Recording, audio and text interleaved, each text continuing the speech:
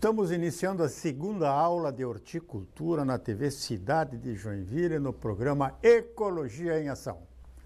Todo mundo quer comer verdura sem veneno e para conseguir isso tem que plantar mesmo. Não existe verdura, frutas sem veneno. Todo mundo usa. Com raríssimas exceções daquelas hortas certificadas por uma determinada organização que certifica produto orgânico de verdade com a fiscalização do agricultor. Mas é muito caro essa verdura, ainda é. Mas para que você possa ter um alimento de boa qualidade, sem venenos, vou mostrar para vocês, aí, ensinando vocês aí como se faz essa agricultura em casa. No programa anterior nós mostramos os locais, os apartamentos, as casas, os condomínios, onde você pode cultivar mesmo com tua família, com teus filhos, ensinando eles a mexer no solo, a cheirar o solo, coisa mais legal que existe. Vou primeiramente mostrar para vocês a minha horta da terceira idade que eu montei na minha casa, na minha residência no Floresta, na, na rua Diamantina. Quem quiser passar lá, não tem portão para abrir. Está à disposição.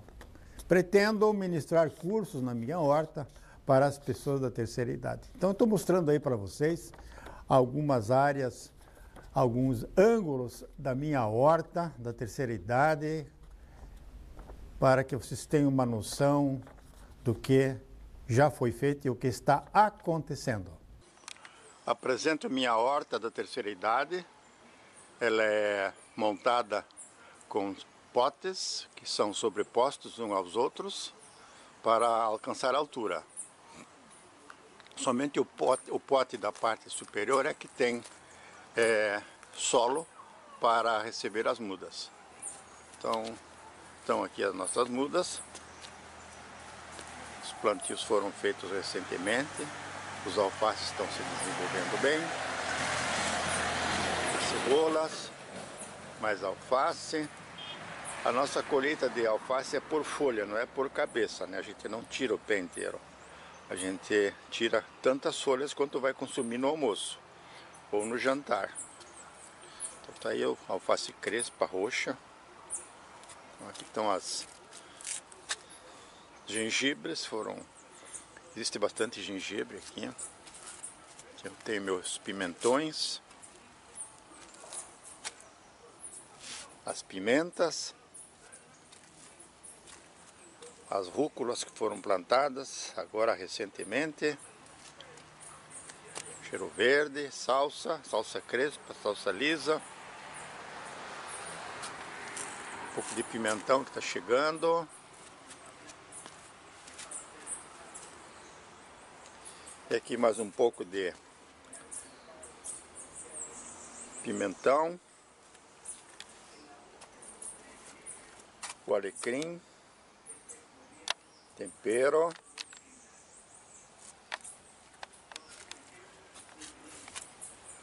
A rúcula. Então, foram plantadas recentemente. A beterraba foi plantada menos de 24 horas, está pegando bem. E assim nós mostramos para vocês que os potes não são lá potes brancos, limpinhos, porque isso não interessa. Nós temos também furos inferiores nos potes, onde a gente insere um pouco de, de galhos de hortelã, que é muito importante. Hortelã. Aqui tem um chumaço de hortelã, vocês vejam que coisa bonita. E para deixar o negócio um pouco mais bonito, mais agradável, nós também plantamos um pouco de flores. Agora eu vou mostrar para vocês como se faz o preparo do solo para que você tenha uma comida boa para plantar. Não adianta você pensar em produzir uma verdura sem veneno se o solo estiver envenenado. O solo tem que estar limpo, puro, não pode ser um solo misturado com restos de construção que você não sabe o que tem lá dentro, solos que foram aterrados perto de indústrias. Cuidado. O solo geralmente tem que ser muito bem estudado, não precisa mandar para laboratório, é horta caseira mesmo. Mas o solo você tem que fazer ele, você tem que fazer a montagem dos diferentes tipos de componentes que o solo para a produção de verduras necessita. Mas eu vou mostrando aí para vocês como é que você faz, como é que eu, pelo menos, preparo o solo na, no meu terreno, no floresta. Aqui o ancinho, então, uma ferramenta importante para que você separe folhas, restos orgânicos do solo, né? faça um monte, uma nova compostagem é importante um ancinho. Aqui se trabalha com uma enxada. Né? Uma enxada, ela tem que, como já falei, tem que estar tá bem, bem afiada aqui. Para que ela corte as raízes, para que ela corte o solo. Né? É importante isso aí. Nós vamos trabalhar agora com uma peneira. Uma peneira de uma malha mais ou menos fina. Especial para fazer canteiros da terceira idade. Essa peneira então vai separar galhos, eh, raízes, pedras, pedrisco. Agora nós vamos trabalhar com um pote. Esse pote aqui, ele é multiutilizado, eu tenho bastante desses potes aqui. E com eles eu faço as montagens das minhas composteiras, dos meus coletadores de água da chuva. Eles engenharia, tem uma engenharia muito interessante, né? que isso tudo se encaixa com as tampas, com os demais potes que a gente trabalha na propriedade aqui na minha horta. Esse é o meu estoque de, de potes, potes de material plástico. Era uma embalagem de produto importado da Inglaterra, essa, essa engenharia da Inglaterra. Esse pote aí tem uma engenharia tudo especial. E aqui nós vamos continuar preparando o solo para levar para os nossos canteiros.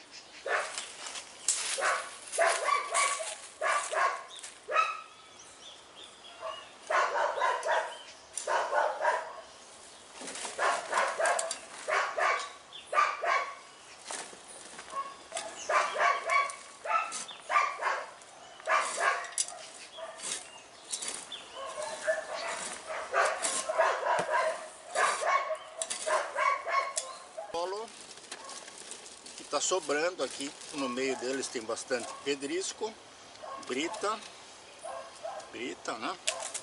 E vai para uso futuro. Assim vocês podem ver que nós temos hoje um solo solto, né? Olha aí, ó. Solto, né? Um solo bonito? Mudas é uma questão importante. Vou mostrar para vocês aí aonde se pode comprar mudas, o jeitão dessas mudas especiais para o teu canteiro, para os teus canteiros. A característica dessas mudas tem que vou mostrando aí para vocês as, as imagens, certo? E também vou mostrar como se faz o plantio.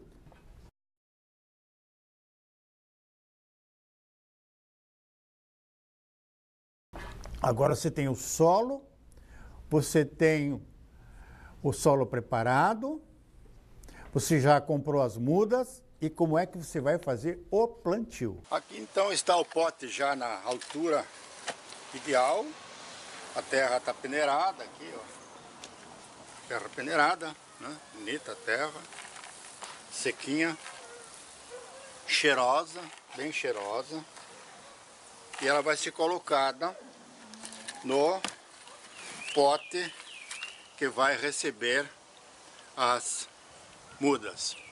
Então eu venho aqui com, o solo. Esse aqui já é um solo preparado. Ele tem casca de arroz queimada. Ele já recebeu uma calagem. E eu vou completar então com o solo vegetal, que vai ser também misturado, né? Misturado.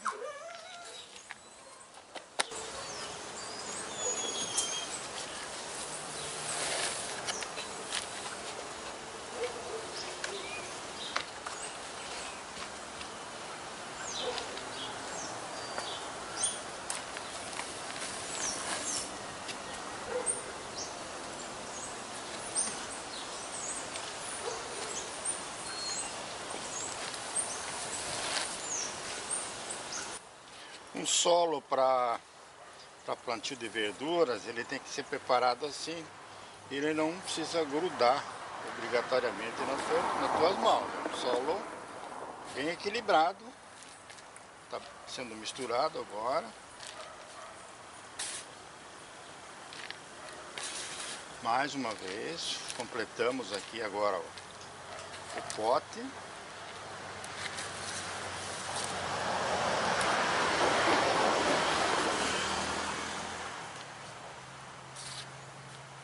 E assim nós preparamos o nosso solo para receber as mudas. Encerrando esse primeiro bloco de Ecologia em Ação, nós vamos convidando vocês a permanecer aí na, na poltrona, que no segundo bloco continuaremos com este mesmo tema.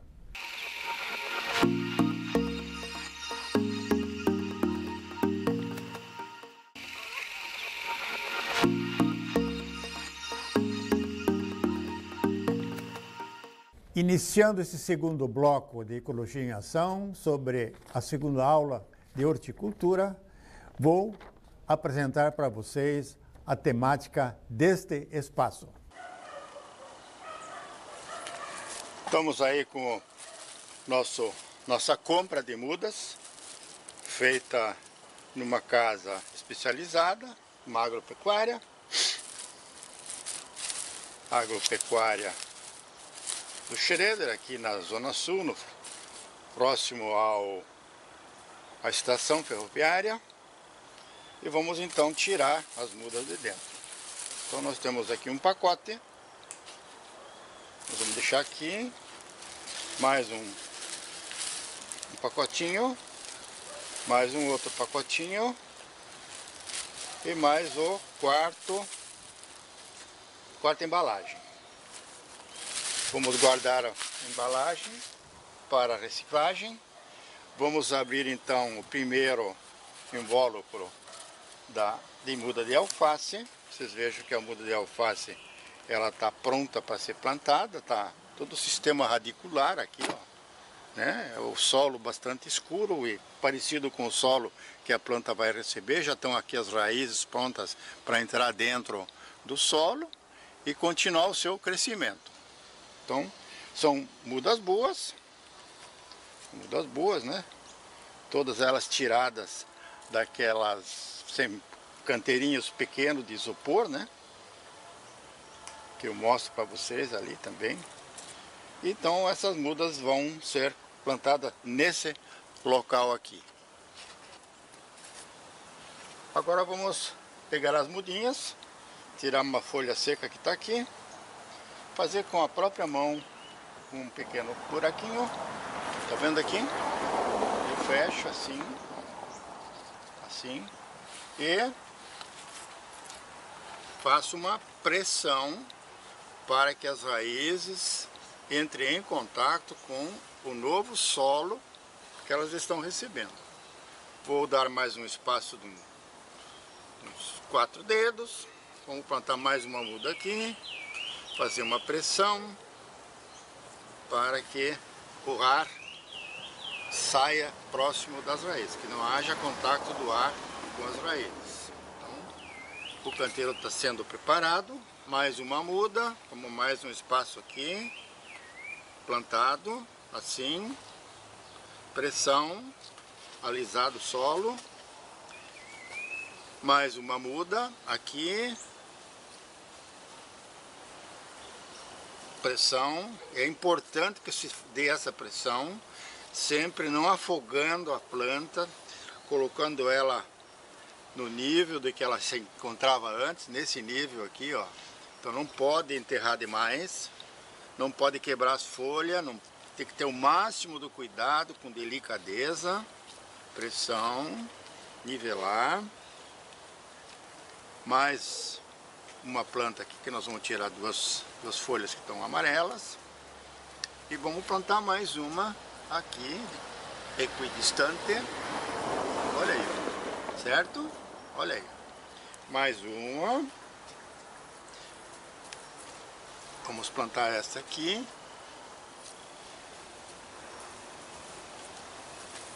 E assim nós concluímos o plantio de seis mudas que serão colocadas então a, a, a se incorporar no seu novo habitat. Ela estava num habitat de estresse dentro da, da do canteiro de isopor e agora elas estão livres. Chegou a democracia para essas mudinhas de alface. Eu não vou molhar já, porque a embalagem já tinha uma certa, o torrão já tinha uma certa umidade. Vou esperar um pouco para que haja uma acomodação das raízes e depois eu vou fazer uma, uma rega. Aqui eu vou trabalhar agora com uma nova planta que é a rúcula. A rúcula é uma, uma verdura muito solicitada. Ela também vem assim em, em torrãozinho, pequeno assim. Só que vem diversas rúculas junto. Mas nós vamos manter o torrão para que elas não sejam prejudicadas é, no desmanche desse torrão.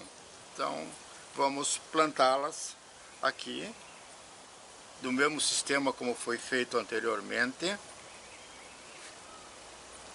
Com pressão vamos plantar mais uma. Mais um chumaçozinho. Depois a gente faz uma seleção.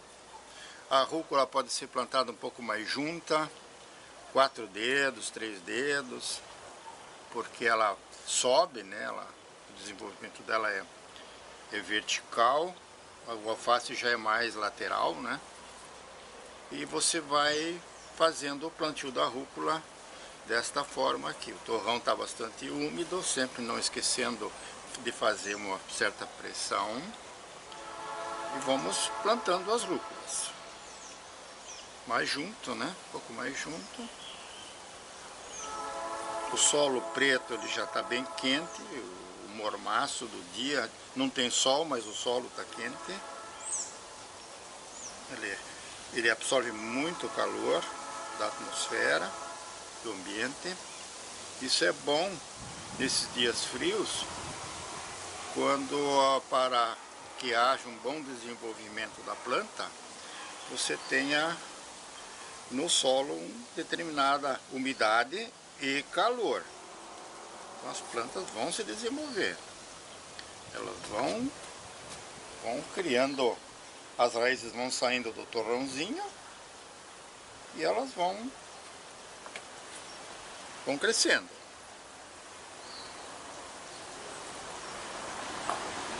Tem mais um pouco aqui. Mais um torrãozinho. Quanto à adubação, o solo já tem componentes orgânicos, já tem humus bastante, já tem calagem, fez uma calagem com cal dolomítico, você pode comprar isso nas empresas especializadas, mas também tem um churume que você faz através da matéria orgânica que você libera na tua cozinha e na, nos, e na, na mesa, os restos do teu almoço e do teu jantar. Então, mostro para vocês aí como é que é essa composteira que gera churume. Ela não, não gera humus, ela só libera o, o adubo líquido para você utilizar na tua horta. Esse é o equipamento que eu uso para transformar os restos da cozinha, frutas, cascas, comida, em matéria orgânica líquida, enxorume orgânico, que eu utilizo para irrigar depois as minhas plantas. É a saída do churume. O churume é feito aqui num compartimento anterior, superior, aqui ó. São os restos da cozinha, né? Eles vão se liquefazendo e a, o líquido vai descendo para esse pote aqui de do meio. Do meio aqui.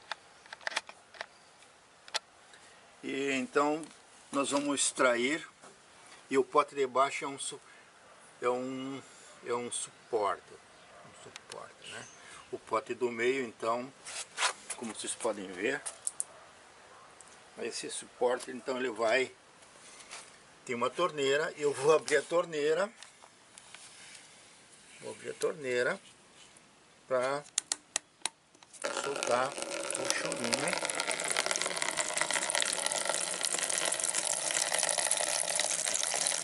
Churume então eu vou usar. Vou usar na minha, na minha horta da terceira idade. Vou fechar assim então agora ó o registro. Agora eu vou pegar esse esse churume aqui e vou adicionar um pouco de água.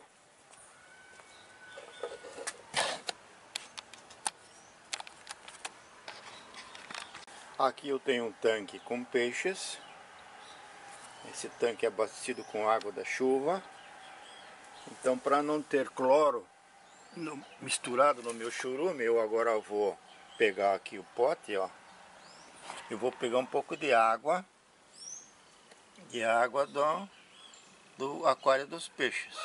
Assim eu misturei com mais de 60% de água do reservatório dos peixes para levar para os meus canteiros onde eu plantei as verduras. Eu estou agora com a com meu pote com churume diluído em água e eu vou agora irrigar um pouco as plantas que foram colocadas aqui nesse pote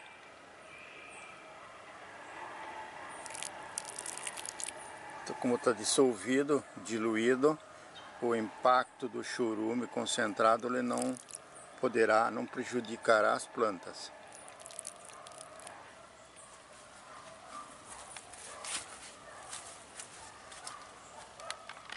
Nós vamos agora mostrar a, a minha horta. Ela está começando a, a ficar mais forte, mais vistosa com a chegada do sol.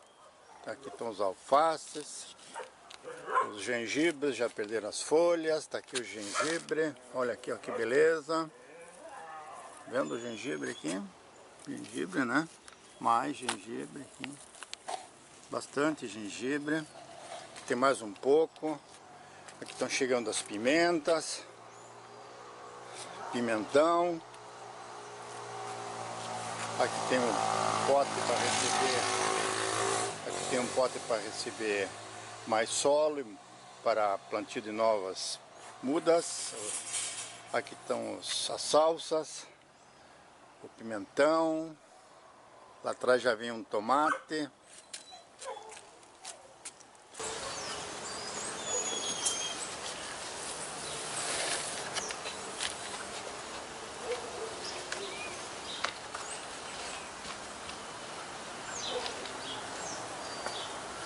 Fiz nos orifícios da drenagem eu coloquei uns ramos, uns galhos de hortelã e assim eu faço uma ornamentação dos meus potes.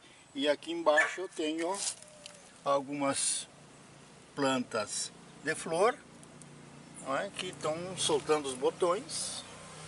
Bastante cara essas mudas nas floriculturas, né? mas você faz a própria muda se você quiser. E aqui está mais um chumaço de hortelã saindo do pote, muito bonito, vocês vejam só. Aqui tem mais um outro saindo do pote. E assim terminamos este programa Ecologia em Ação de hoje, esperando que vocês tenham aprendido alguma coisa e penso eu que vamos para a terceira aula de horticultura. Até o próximo programa Ecologia em Ação.